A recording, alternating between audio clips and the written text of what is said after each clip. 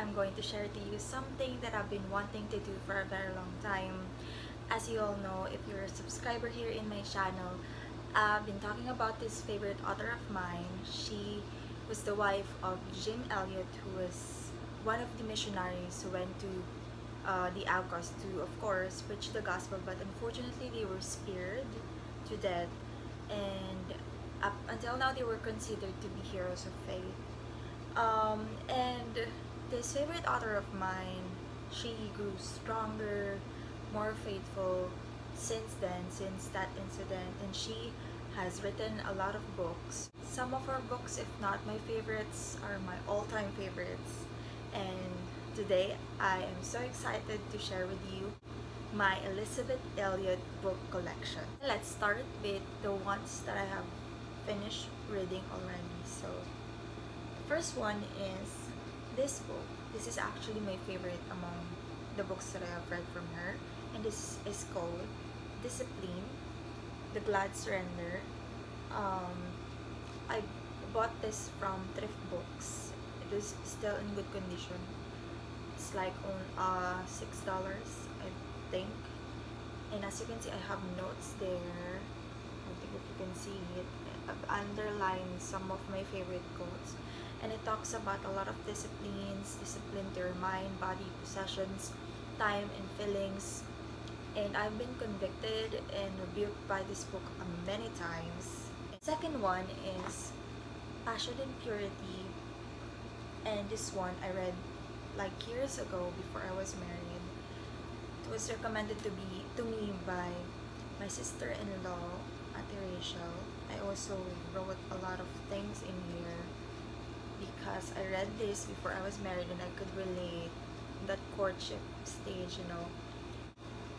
Third, let's have another favorite of mine, Through Gates of Splendor. This is the um, biography, I should say, of the five or six, I forgot, missionaries. What I really love this about this book is how courageous these men were and how dedicated they were in you know, helping the expansion of the kingdom of God and how they will die for their Savior and also how their wives are really great support and how they mirror God's love towards other people. So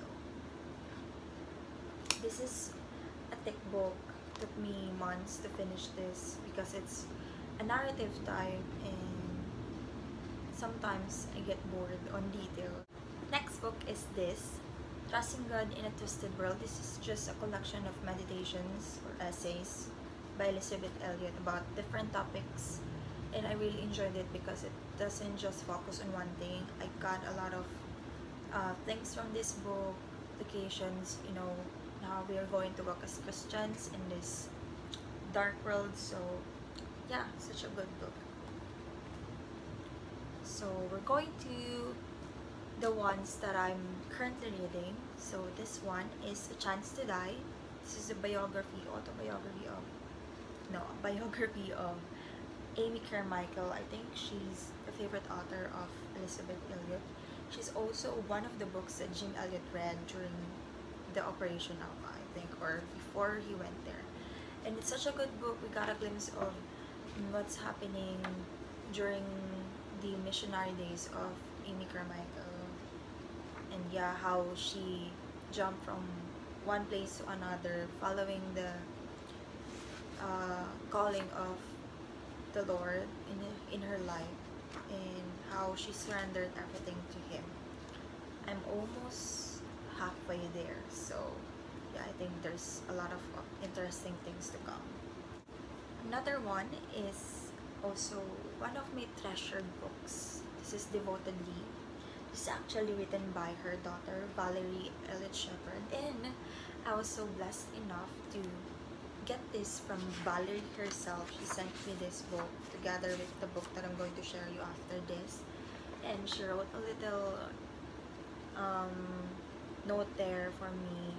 How sweet and just very generous heart. And I I'm just so happy that I got this for free also because it's so hard to find this in the Philippines and if I'm going to buy this abroad it will take me thousands of money to just get this. And I'm really excited to read this because I know this is going to be as good as Passion and Purity because and now I think it's much better because it has all the letters they have when they were courting until they were married. So the book that I told you before that Elisabeth, uh, Valerie gave me together with that book is A Path Through Suffering. She also wrote a note here. Yeah, so I haven't read this one yet. Uh, I'm busy reading other stuff, so yeah. And this copy of Love Has a Price Tag is also one that I treasure the most because dun, dun, dun, yeah, it is signed by Elisabeth Elliot herself. I didn't expect it to be signed since I got it from an online seller on Facebook. And she didn't indicate also if it was signed or not so I was really happy about it. Yeah and I got it for cheap another one that I got for free is The Liberty of Obedience by Elisabeth Elliot this was just a freebie from my online order. It's a tiny book but I bet there's a lot of things I've learned from it. And look how cute the library card at the back here. Another tiny tiny book is this God's Guidance Slow and Certain Light I don't think this is the full um, length of this novel or book I bet it is just like a snippet from the actual book but uh, yeah this is a good addition if I'm just wanting to read if I just want to read a short book from her. I bet there's a lot of meditations here also that I can use. Another that I can't wait to read is this Shadow of the Almighty. This I think is the biography of her husband Jim Elliot. And it's an old book. I used to have a hard copy of this book but I gave it away because it has no dust jacket. I don't know why but if a book is missing something if it has no dust jacket or missing a page I will find another one that has complete pages or has dust jacket. Or much better if it's paperback because it's lighter. Yeah. Speaking of Jim Elliot I also have the journal journals of Jim Elliot Missionary Martyr Man of God. But this is another biography of his. It's in mint condition. I got it from Thriftbooks also thank you to my auntie Gina who helped me you know order from there because it's from the US and another book that I really treasure is Let Me Be a Woman by um, Elisabeth, of course. Let Me Be a Woman. I actually have two copies of this book. Tada! Got this from thrift, thrift books. I ordered a paperback but they sent me a mass market paperback and I really have a hard time reading from small books. They get me so bored easily. So I got this from an online seller also and I like this cover much better than this one. So yes this book is her letters for her daughter Valerie. I can learn a lot of things from this one because it talks about marriage a lot of stuff about a woman. So yeah. I'm think, still thinking if I'm going to give this to someone special to a friend or I'm going to sell it but who knows I might keep both of them Another book from her is The Music of His Promises. I think this is a compilation of essays too. Yeah, you can use this for devotion or just a small reading time in the afternoon.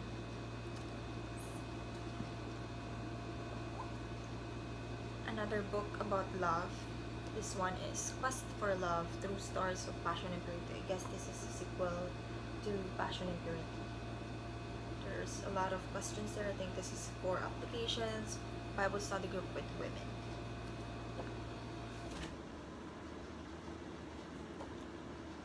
Another one is a lamp for my feet. The Bible lights, the Bible's light on for the living. So this is also collection of just meditations you can use for devotions once you're done with um, the previous one.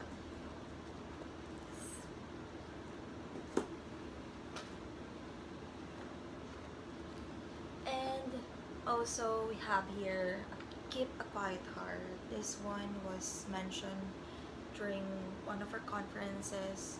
The reason why I grabbed this book because I listened to that message. Such a good, good message. I think it's about serenity. You can find it on YouTube. It's still available there. You can listen to her podcast also. They're full of substance, very helpful for us women or just Christians in general. Also, we got this secure in the everlasting arms. This is such in a new condition. I don't know if what happened to this one. I got it for a cheap price because the seller of this one is my friend. I think not a friend. I always buy stuffs from her, especially books. So I gave she gave me a discount. And last but not the least, we have Shaping of a Christian Family. Now, this is uh, one of the useful books in my library because I am gravitating towards books that talk about bringing your family into the light of God's grace and guidance. So, yes, can't wait to read this one. That's it, ladies. I hope you enjoy me babbling about all these books.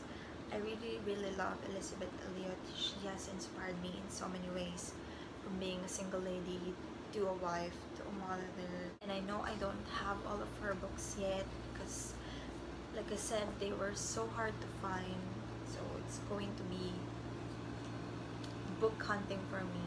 But I, but I've always believed that books are blessings. They give us knowledge through that knowledge, we can apply them into our lives by God's grace.